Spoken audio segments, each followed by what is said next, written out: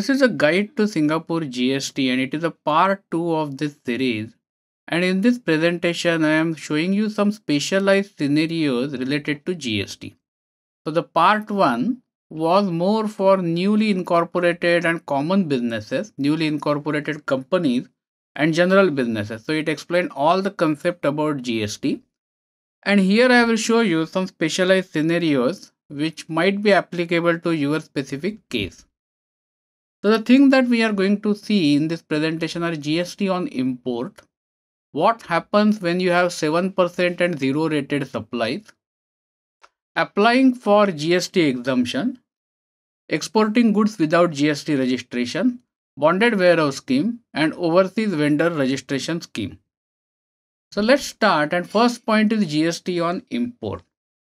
Now if you are importing any goods in Singapore, then when the import shipment is processed by Singapore customs, at that point of time GST will be charged on the shipment.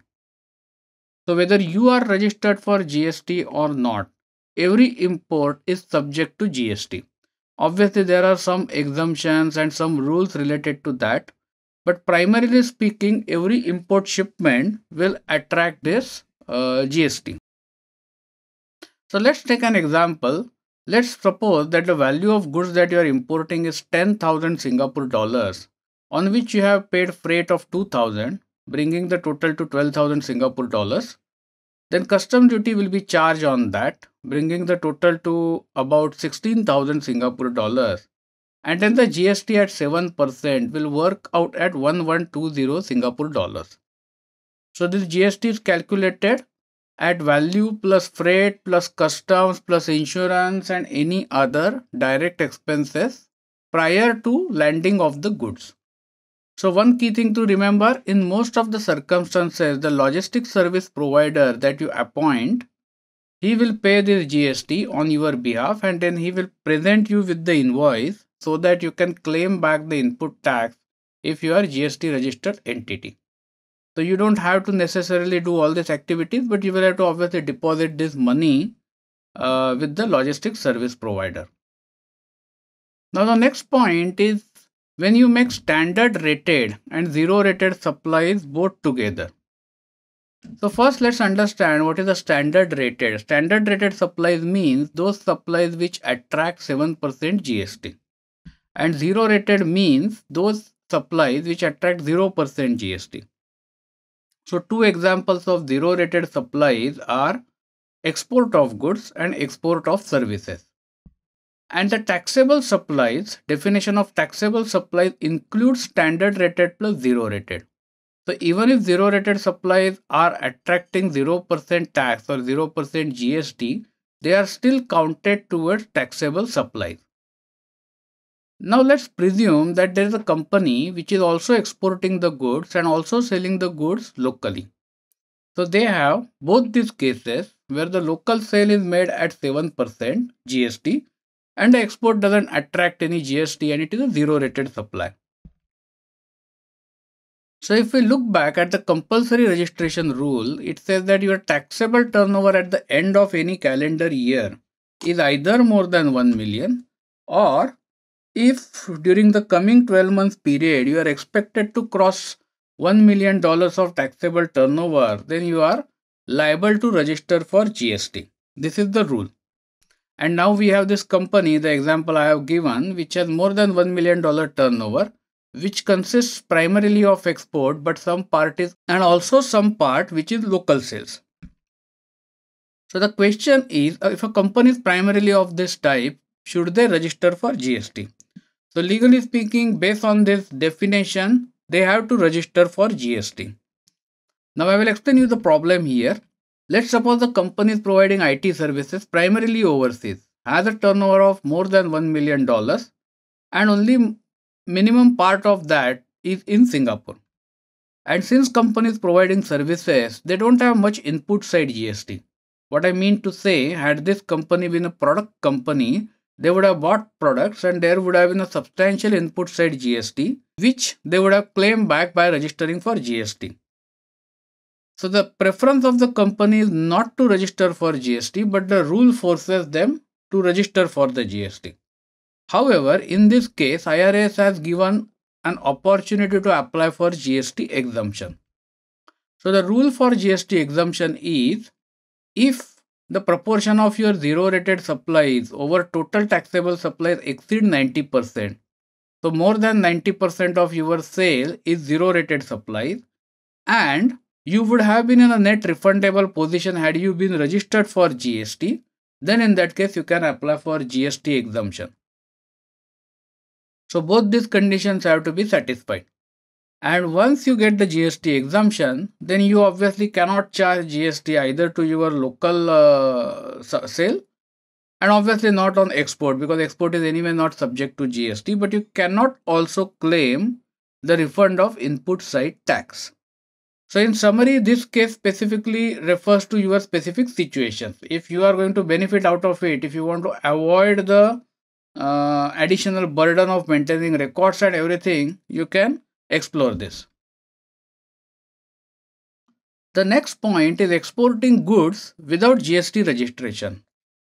Now let's suppose that you buy some goods in Singapore and you want to export it. So at the time of purchase, the supplier will charge GST to you. So you have an input side GST. But because you export, you are not going to charge GST to your customer. And therefore, the input side GST may become a cost for you.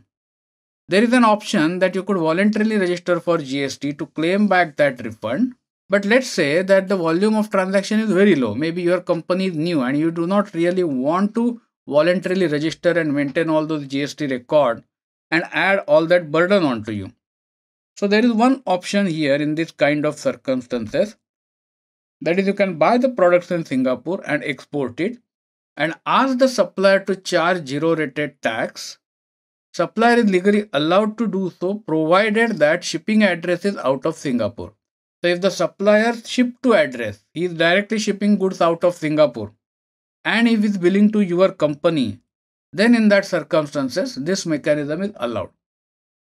Moving on to the next slide, it is about free trade zone or bonded warehouse scheme. So sometimes what happens, you want to import goods into Singapore and want to keep it here for a specific period of time and want to do maybe some processing, repackaging, relabeling or something like that. And then you want to export the goods out of Singapore. So obviously when goods enter into Singapore, GST will be applicable. And then if majority of your transactions are export, there is no point in actually having all that GST administration burden. So in that circumstances, you can take benefit of free trade zone or bonded warehouse scheme.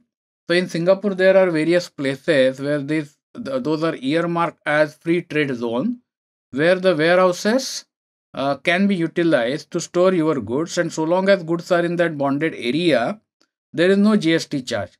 Only if you decide to move those goods from that bonded warehouse to Singapore local, then the GST will be applicable and you don't need to rent this entire warehouse. Most of the logistics service provider will provide you this service. So they will import goods keep it in their bonded warehouse. Maybe they will even provide you services of repackaging or relabeling. And then may export also you on your behalf obviously for a charge. So in these circumstances the calculation will look like as follows.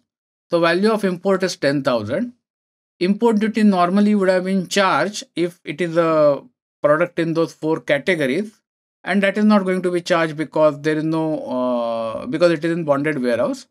Total with duty is 10000 and again gst will not be charged. So the areas of singapore where all these bonded warehouses are available are listed here. So it is keppel Distripark tanjong pagar keppel terminal jurong port and so on if you want to find out a service provider in this area, you can check on Singapore Logistics Association website and refer to the members directory.